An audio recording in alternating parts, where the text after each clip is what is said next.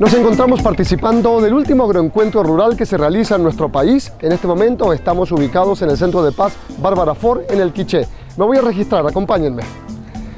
Y de paso vamos a conversar con las casas comerciales y ver qué productores se encuentran presentes en este encuentro. Hola, ¿qué tal? ¿Cómo estás? Buenos días. ¿Cómo estás? Me vengo a registrar entonces.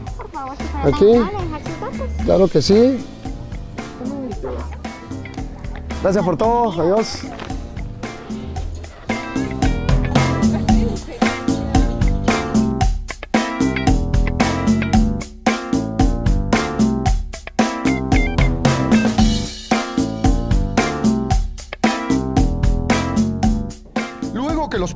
Y participantes realizaron su registro, las autoridades de Agexport dieron la bienvenida al último agroencuentro rural del año 2015.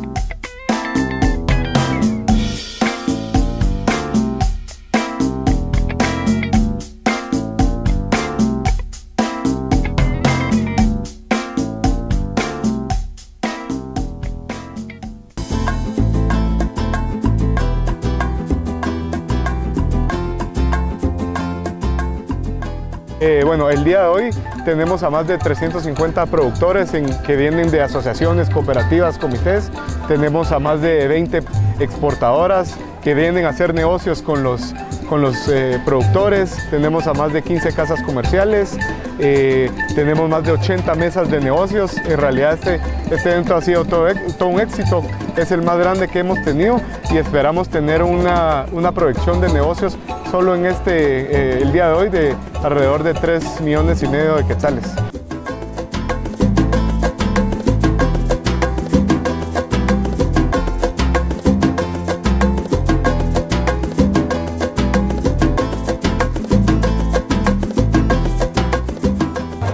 Bueno, lo que ha sucedido es que durante años nosotros hemos estado participando en ferias internacionales, llevando la oferta de productos de Guatemala y siempre nos topamos con que la demanda supera por mucho la capacidad de oferta del país.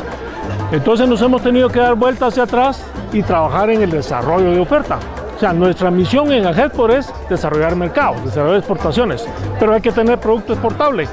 Entonces en el sector agrícola la conclusión es de que la demanda supera por mucho la capacidad de oferta al país, entonces hemos incorporado los encuentros como una manera de desarrollar nueva oferta. Hemos invitado a grupos de agricultores para que se animen a hacer producto de calidad mundial.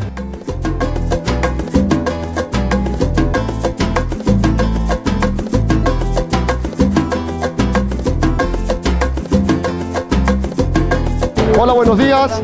¿Qué tal? De TV Agro los visitamos. Contame qué producen ustedes, de dónde vienen. Venimos de Totonicapán y producimos la, el melocotón. Es una variedad que solo se da en el suroccidente del país y la verdad es una fruta muy buena, así que gústale. Muchas gracias. Señor productor, empresario, usted también puede participar el año próximo de estos agroencuentros rurales que se realizan a lo largo del país y que son organizados por la plataforma AgriTrade, por el programa de encadenamientos empresariales de Agexport y por el Fonagro del Maga. Vamos a probarlo, ¿eh?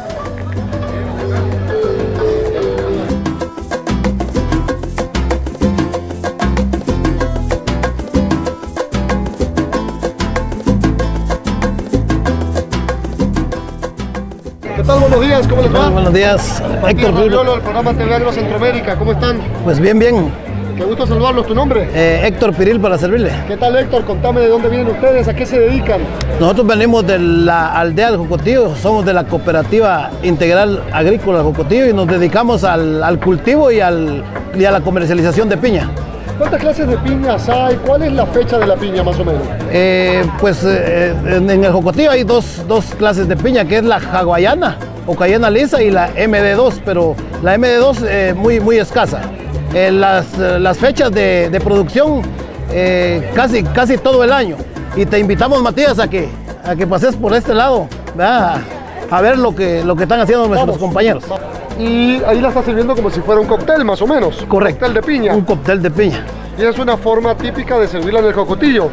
Eh, eh, más que todo, eh, ahorita sí en el jocotillo, pero más que todo ha, ha, derivado de por acá, de estos lugares.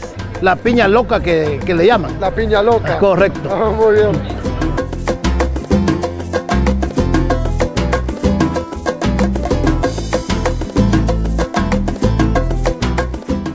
Es sorprendente la variedad de frutas que se producen en Guatemala y que intentan abrirse brecha en el mercado internacional. Hola, ¿qué tal? ¿Qué tal, Matías? ¿Cómo estás? ¿Qué tal? ¿Cómo estás? Matías Raviolo del programa TV Agro. ¿Cómo estás? Bien, bien. ¿Y tú qué tal? Muy bien, gracias. Contame un poquito acerca de ustedes, de dónde vienes, qué producen. Eh, nosotros somos Aspragua, somos una asociación de productores de rambután y frutas tropicales. Estamos eh, ubicados principalmente en el área de Izabal. Contame, Rubén, ¿cómo, ¿qué expectativas tienes en este agroencuentro rural?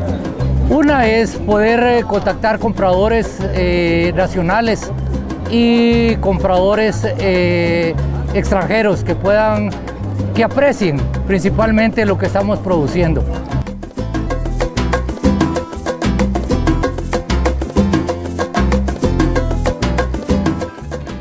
La marimba, instrumento autóctono de Guatemala, amenizó con su música durante el último agroencuentro rural del Quiché. Artesanas del Quiché nos hablan sobre los distintos tejidos de palma que realizan. Somos una asociación del Instituto de Cooperación Social. Estamos eh, trabajando aquí en el Quiché, organizando una red de mujeres. Pero estas mujeres eh, realizan diferentes actividades, ¿verdad? Y una de ellas es la trenza que están realizando el día de hoy, ¿verdad? Eh, para elaborar sombreros, sombreros y además lo que es para los, las botellas. Bueno, las señoras hacen, eh, trabajan ellas eh, durante todo el tiempo, a veces cuando van a reuniones, ellas aprovechan su tiempo para estar elaborándolo, pero son 10 frazadas, esto, esto es una frazada, es la medida de una frazada, en donde ellas van vendiendo por rollo de 10 frazadas y les pagan un costo aproximado de 3 quetzales por rollo.